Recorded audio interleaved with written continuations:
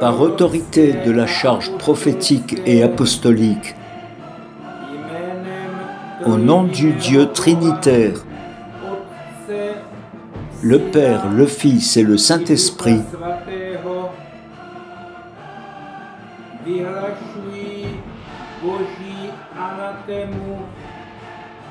je déclare l'anathème de Dieu, l'excommunication de l'Église.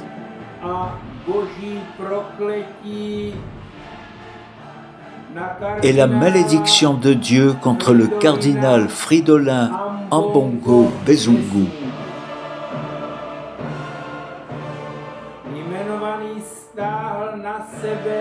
L'intéressé s'est attiré le châtiment le plus sévère de Dieu.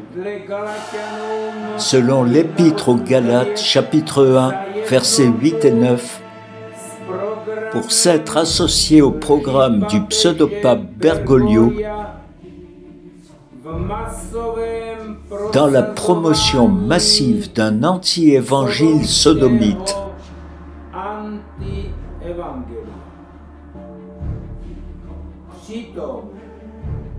Cependant, il trompe astucieusement les évêques et les peuples d'Afrique en leur faisant croire qu'il est un véritable évêque catholique.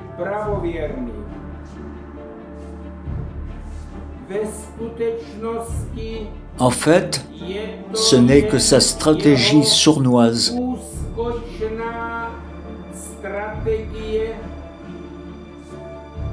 visant à faire avancer le programme de Bergoglio consistant à sodomiser l'Afrique.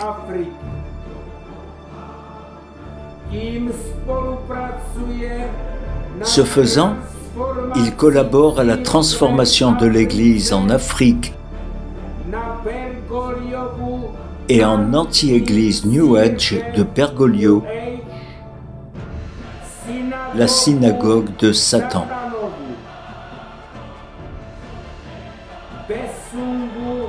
Bezungu le fait en unité intérieure avec le pseudopape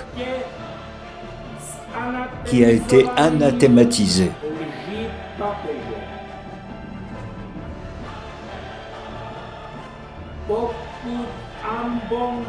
Si Ambongo Bezungu meurt dans cet état d'obstination,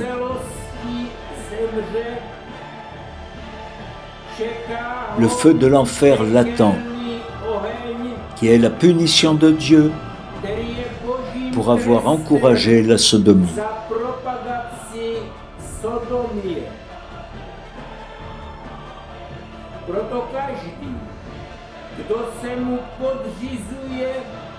Par conséquent, si quelqu'un se soumet et s'unit à ce Bezungu apostat,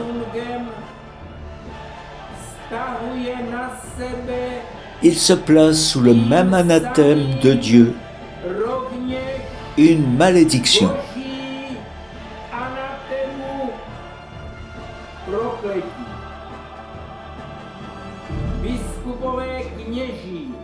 Les évêques, prêtres et croyants du Congo et d'Afrique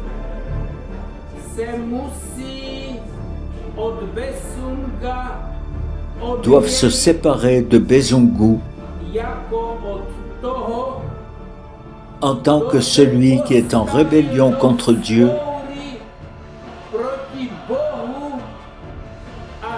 Et sert Satan en promouvant secrètement et astucieusement la sodomie.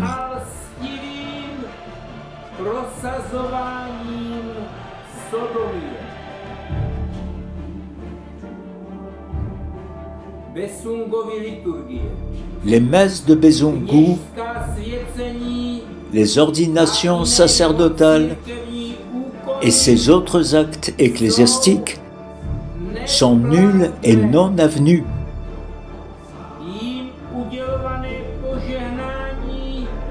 La bénédiction qu'il accorde est un abus du nom de Dieu